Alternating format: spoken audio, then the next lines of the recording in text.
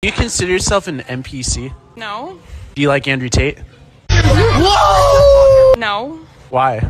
Because he's a misogynist? So I absolutely not really love women. He loves women. Are you kidding me?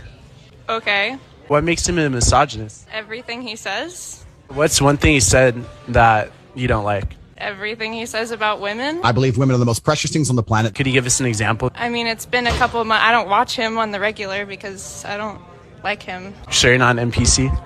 Yep. Thank you.